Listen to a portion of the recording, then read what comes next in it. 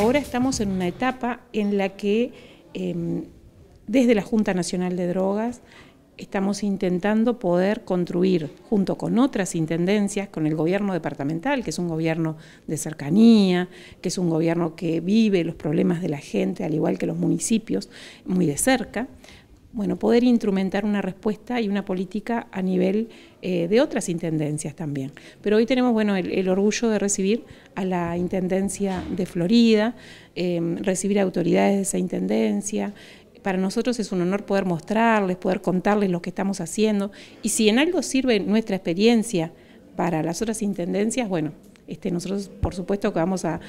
brindar todo lo que es nuestra experiencia y seguramente ellos generarán otras que nos enriquecerán a nosotros y, eso es lo valioso. Recibimos la información de que la otra esquina este, era una, una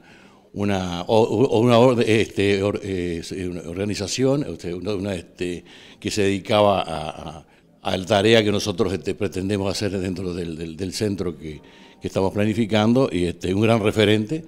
Así que nos vinimos hasta acá y la verdad que fue una, muy grata impresión este, encontrarnos con todo esto. Eh, la verdad que sumamente tocantes y llamativos este, los, los, eh, los testimonios de, los, de las personas que, usan este, esta, esta institución y bueno, nos vamos con una fuerza impresionante porque la verdad que vemos que esto que falta en Florida, que es este, un centro de gravitación de, este, de ediciones como es este, este lo podamos este, cristalizar porque nos llevamos este, muy buenas ideas y, mucha, como te reitero, mucha fuerza eh, después de escuchar a, los, los, testimonios de, la, de, las personas que integran este, este centro.